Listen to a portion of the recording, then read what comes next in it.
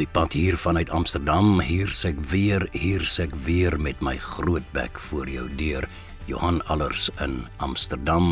Goeiemiddag Kaapstad Radio, goeiemiddag aan al ons wonderlike luisteraars. Dit is storietyd. En vandag se storie wil ek afskop met so 'n filosofiese gedagte. Maskers, ons almal dra maskers. Ons is maskermense. Die titel van 'n pragtige nuwe Afrikaanse bundel geskryf deur Hendy Grobbelaar wat onlangs deur Naledi uitgegee is. Die ink van die druk ruik nog vars.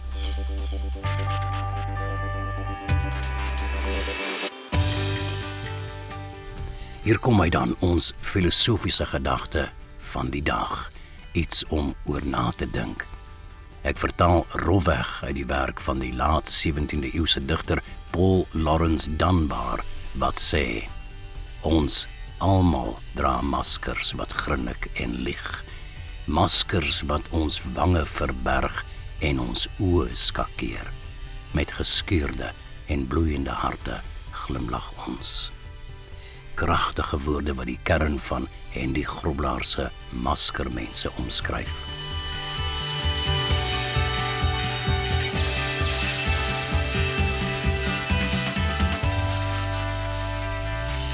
Die storie waarna ons vandag gaan luister vertel van 'n vrou wat ook agter so 'n masker leef, 'n vrou soos Bel.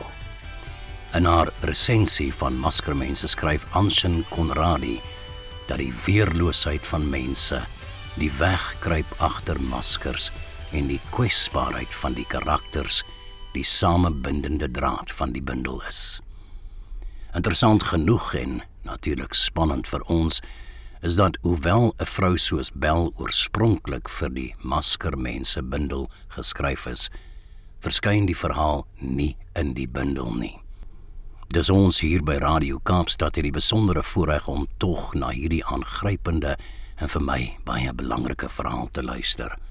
Voordat ons na 'n vrou soos Bel luister, het ek vir Hendy gevra om haarself aan ons voor te stel. Welkom Hendy Grobbelaar. Op die vraag waar ek vandaan kom, is dit nogal vreeslik moeilik vir my om dit te antwoord. Ek was in nege skole. Ek is um in Potchefstroom gebore en my ouers het redelik baie rond getrek en verhuis en ek was nou een van daai kinders wat hulle mee gespot het om te sê jy kan weet iemand het baie verhuis as hulle dom kinders het en stukkende meubels. Nou ek was een van daardie. Ehm um, ek het my groot gedeelte van my lewe het ons daarin in in die Valdriehoek beland en daar het ek gematrikuleer en ek is getroud daar. En ja, ehm um, ek en my man en die kinders het toe ook nou maar redelik rond getrek en ehm um, geleenthede gegryp soos wat dit oor ons pad gekom het. En ek het begin skryf in 2015 wat my beweeg het was maar was maar 'n bietjie van 'n depressie wat ek gehad het op daardie stadium. Ek het my pos as 'n uh, konsultant verloor as gevolg van omstandighede en ehm um, toe sit ek sonder werk. Toe sit ek skielik ehm um, met geen inkomste en geen vooruitsigte nie. En my pa het op daardie stadium bietjie by my gekuier en hy sê toe nou vir my, "Onthou jy nou daai storie en daai storie van toe jy nou klein was en daai karakter en daai karakter?" Nou dit was die begin van my skryfloopbaan. Ek het my eerste bundeltjie geskryf met die karakters wat ek kon onthou uit my grootword tyd. My ouers se huis was redelik oop vir mense wat net kom bly het, swerwers, jy weet wat so kom bly het vir 'n rukkie en dan weer getrek het. En daai karakters was baie kleurryk en ek onthou baie van hulle. En so het ek my bundel geskryf, my eerste bundel met daardie karakters as my ehm um, as my fokuspunt. En dit was ook die potskerwe, soos my ma altyd met hierdie of van hierdie mense gepraat het. Dis maar stikkende mense wat uh, vir 'n tydelike uh of tydelik inkome gesoek het by ons. So ja, dis waar ek begin skryf het en uh toe begin ek nou 'n bietjie sukses behaal en mense hou van die stories en ek het toe nou begin op kursusse gaan en op 'n stadium ook in die Griekse op die Griekse eiland Lesbos beland waar ek 'n kursus bygewoon het. Ehm um, wat aangebied is deur The Talking Table, Frederik de Jager en Marita van der Vyver. En ja, die gogga het nou regtig daar gebyt en my tweede bundel is gebore, Striksvye. En so ja, van daar af het dit nou net gegroei en gegroei. Radiodramas het toe later bygekom as ook 'n 'n nuwe liefde wat ek nog besig is om te ontgin. So ja, dit is maar waar die dinge vandaan kom. Dankie Hendy. Net voordat ons na die storie gaan luister, vertel vir ons so klein ietsie oor 'n vrou soos Bel. Ja, en jy vra my wat my gemotiveer het om oor prostitusie te skryf um, in die storie van 'n vrou soos Bel. Wel weet jy, randfigure en smaar kry vir al vroue se stryd roer nogal iets binne my en ek wil dit ondersoek en probeer verwoord. Ek is baie nuuskierig oor die hoekom en waarom mense dinge doen en ek glo daar is altyd 'n masker waar agter mense wegkruip. Prostitusie is die oudste beroep glo baie mense. Ek glo dis die hartseerste.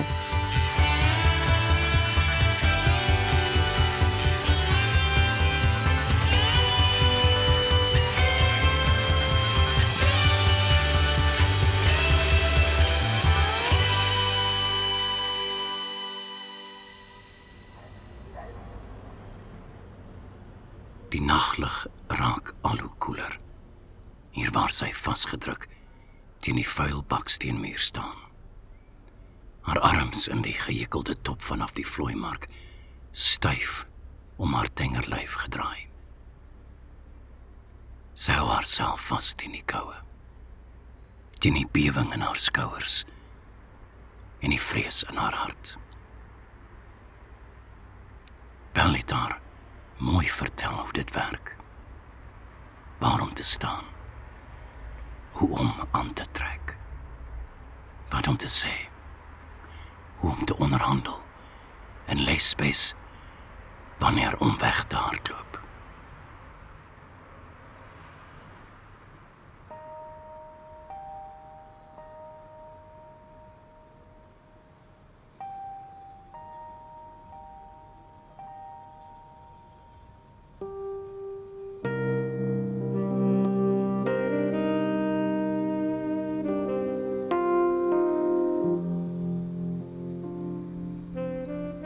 Bel gesmeek om te help. Die vrou by die agentskap het gesê Bel is die beste en die vriendelikste van al die meisies. Niks afgunstigs of volgeite nie. Maar wil sy nie eerder by die agentskap self aansluit nie. Sy kry 40% van alle verdienste. En as mens om haar te beskerm, as dit nodig word. Sy wou egter nie gebind word nie. Die agentskap vra onnodige vrae. Daar's vorms wat sy moet invul. Haar adres gee. Naamsbestaandes. Sulke goed wat sy nie kan bekostig nie. Bel het nie gevra hoekom sy dit wil doen nie. Bel weet das gewoonlik net een antwoord.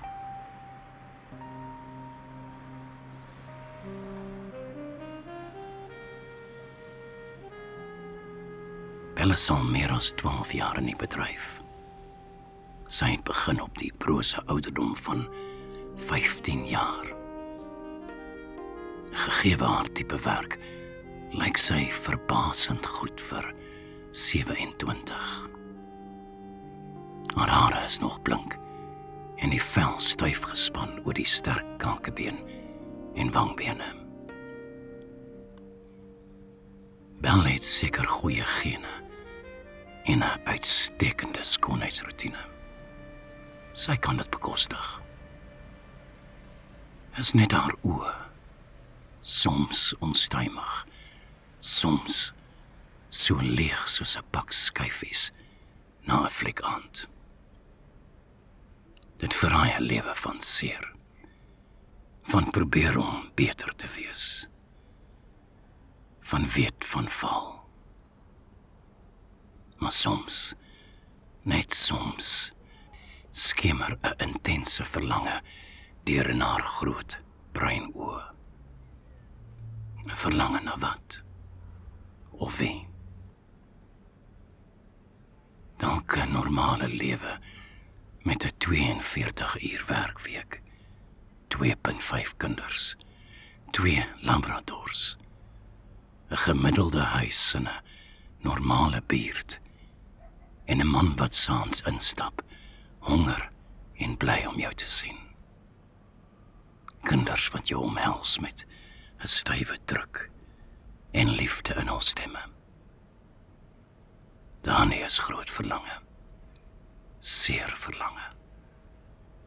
Onmoontlike verlange vir 'n vrou soos Bel. Bel is 'n hoë klas prostituut. 'n Cool girl met 'n vaste kliëntebasis. Kyk hier, het sy gewys. Kyk my arms. Geen gaatjies nie. En my neusvleuels is skoon. Daar is geen dwelms betrokke nie. Sy vat nie aan die goed nie. Dit is die gouste wat jy kliënte verloor. Om nie van jou voorkoms te praat nie. God sit sy vervolg. Ek drink nie eers nie. Net af en toe 'n glasie nagmaalwyn. Ja, het sy gelag met 'n skerp klank. Sy gaan soms kerk toe. Dan sit sy heel agter en hou haar oë op die grond. Sy bid saggies en neem die kelkie met hoop. Dit is al waarin sy soms vashou. Hoop.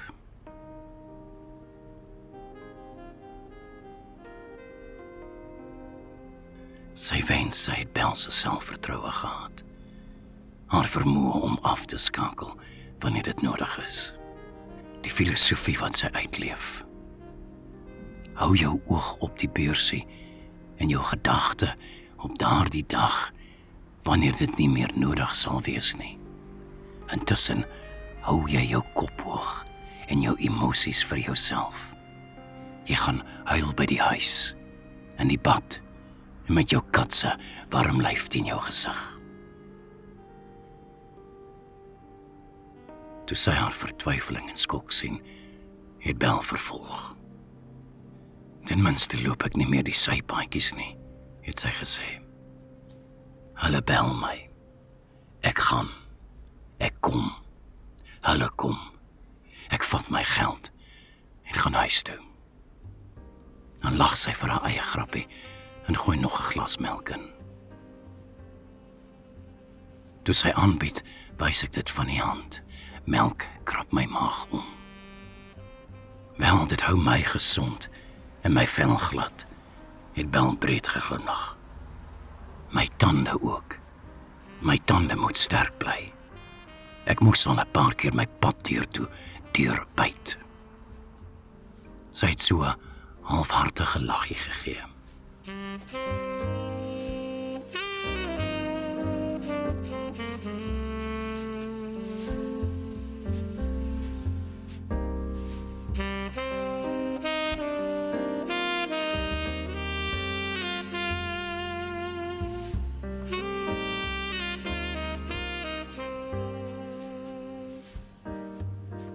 Die donkerblou Mercedes ry twee maal by haar verby en draai dan om op die hoek by die T-aansluiting. Hy wil seker maak daar's nie kops in die omgewing nie. Sy druk haarself nog vaster teen die muur. Miskien ry hy verby. Die lamplig skyn op haar gesig. Dis wat Bel gesê het sy moet doen. Staan onder die lig, maar net so effens. Hulle moet die merchandise kan sien. Maar nog steeds wonder hoe lyk die hele pakkie. Dit laat hulle omdraai en stop. Wees subtiel, maar tog oop vir window shopping. Nee, koketterig nie. Dis tog so pretty homerig. Dit laat jou van die begin af goedkoop lyk. Dan wil hulle peanuts betaal. Wees net stil. Hy sal kom en praat as hy ernstig is. As jy oorywerig lyk, val die prys heelwat. Die kar stop voor haar. Hy kyk behoedsaam rond voordat hy die venster aan die passasierskant afzoom met die elektriese knoppie. Sy kan nie sy gesig sien nie, maar sy stem is sag toe hy haar roep. Sy kyk eers op en af in die straat. Daar is min beweging. Dit is al na 10. In die geboue rondom haar is maas besig om skottelgoed te was en paas kyk die heruitsending van gister se rugbywedstryd. Gister was hulle gedrink en het te veel geskree tydens die kommentaar. Kinders lê onder die komberse en wag vir die slaap.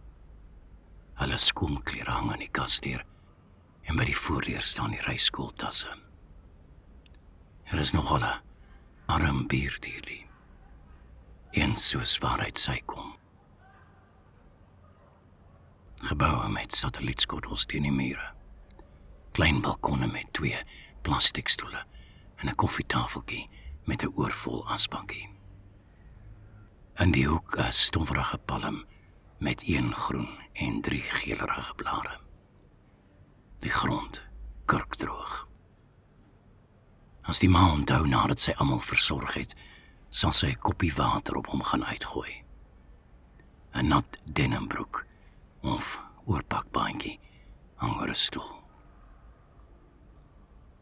Hy roep weer. Harder. Effens ongeduldig. Sy haal diep asem en stap nader.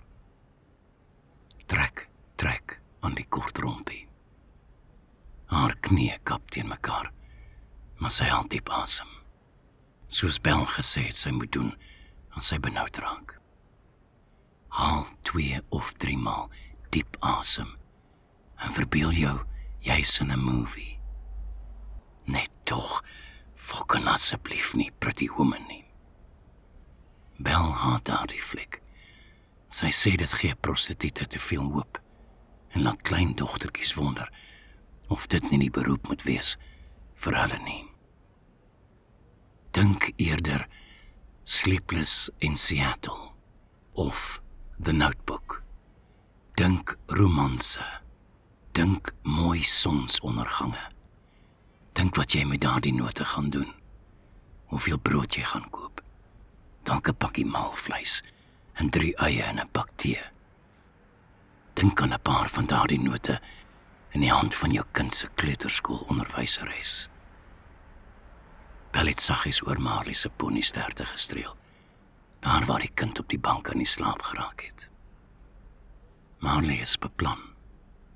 Nie 'n hoerkind soos wat Bel se ma sê nie. Bel het 'n paar jare vaste kerel gehad en hy sou met haar trou. Maar hy het nie geweet van haar werk nie. Toe vind hy uit van die werk en pak sy doksak en los haar met die poepie, die stikkende yskas en opgehoopte klere rekeninge. Maar 'n vrou soos Bel gaan lê nie maklik nie. Behalwe as sy betaal word, natuurlik. Sy het oorleef. Sy het vir Marley 'n nuwe yskas gekry. En al die klere wat op sig geneem is, gaan teruggee vir winkel met die rooi blokkie. Nou is Marley in 'n goeie kleuterskool. En Bel werk net soggens. Haar kliënte verkies al pret voor middagete. Voordelig vir beide partye. Saterdag aande kuier Marley by Bel se suster. Dan onthaal Bella haar spesiale kliënt. Die middeljarige en eensame oud politikus. Geen beddinge met hom nie, verseker Bel. Sy vergesel hom na die stad Skouburg of gaan eet uit in die nuutste restaurante. Hy stel haar voor as sy suster se beste vriendin wat haar voete in die stad probeer vind. Bel gegil as sy die storie vertel. Sy probeer nou al 2 jaar haar voete in die stad vind. Die man in die Mercedes het 'n donker bril op. Sy is op haar hoede. Hoekom 'n donker bril in die nag?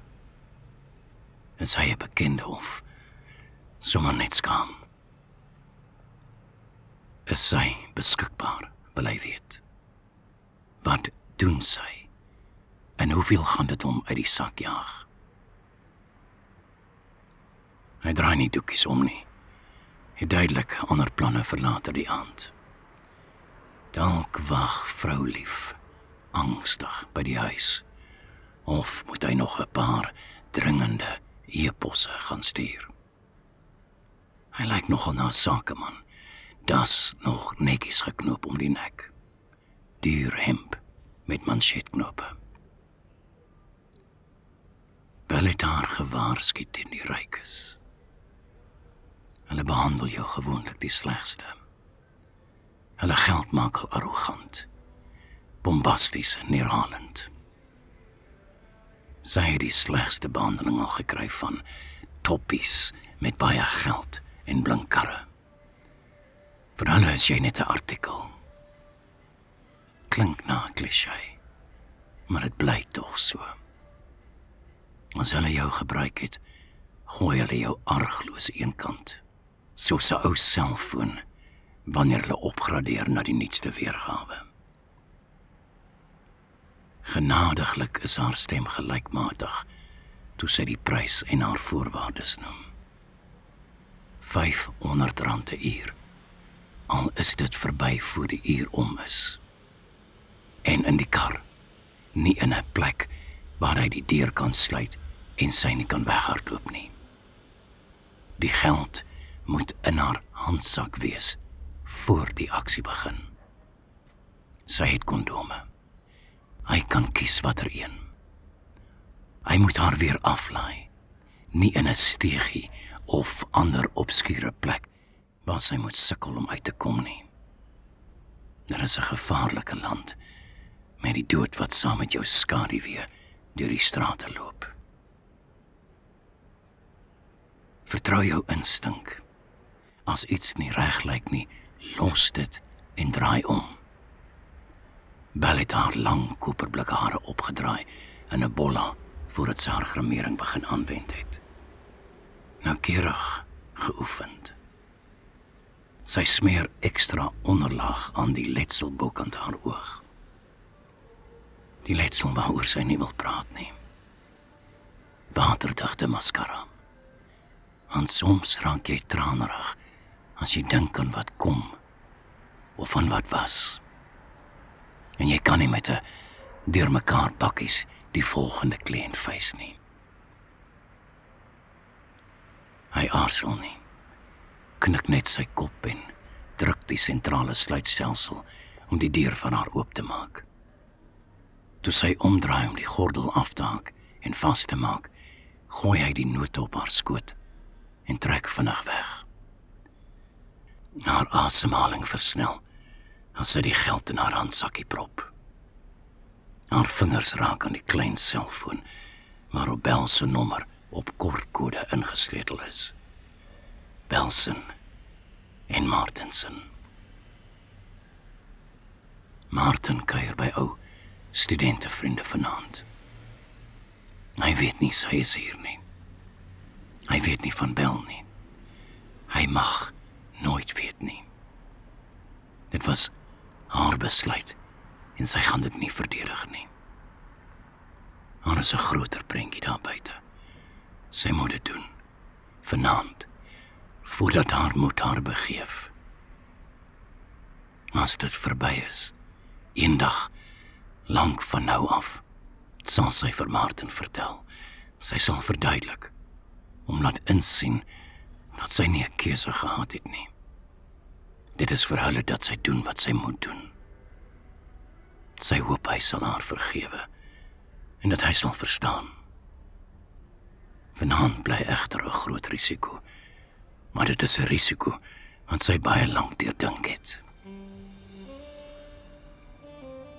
Hy praat nie met haar nie. vroetel net met die verwarmer in die radio. Hy kon sien sy kry koud. Die musiek is klassiek. Verdi. Haar gunsteling. Maar dit pas nie in hierdie ruimte nie. Asof hy haar gedagtes kan lees, sit hy die musiek af en ry in stilte. Moenie 'n gesprek begin nie, sê Bel. As hy wil praat, laat hom praat. As hy uitvra, antwoord hom. Moet nooit jou regte naam gee nie. Moenie sê waar jy bly nie. Lieg oor jou ouderdom en jou familie. Hy koop jou fucking lyf, nie jou lewe nie, sê Bel. By 'n smal dwarsstraat draai hy regs. Die pad loop dood voor in 'n klein parkeerterrein. Oorkant is die staalkonstruksie van die nuwe winkelsentrum waarvan sy gelees het. Reuse oorhoofse kranse staan afgeets teen die dowwe lig van die straatligte daar agter. Dit is doodstil toe hy die engine afskakel. Hy sit vir 'n rukkie en vrom met sy goed versorgde vingers op die stuurwiel. En hy val sterlig kan sy sien daardie hande word gereeld gemanikuur. Die naels blink soos wat iemand hulle onlangs gepoets het. Sy kyk na haar eie naels. Dit is kort, sonder blink of 'n kleur. Sy het nie tyd of geld vir 'n manikuur nie.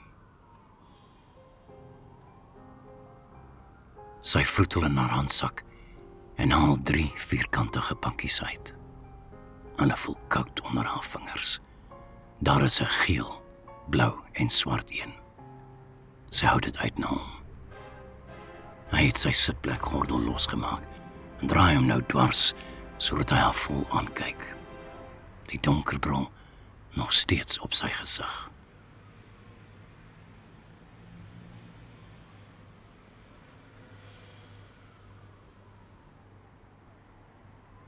Bel se sitkamerlig brand toe sy die trappies opstap.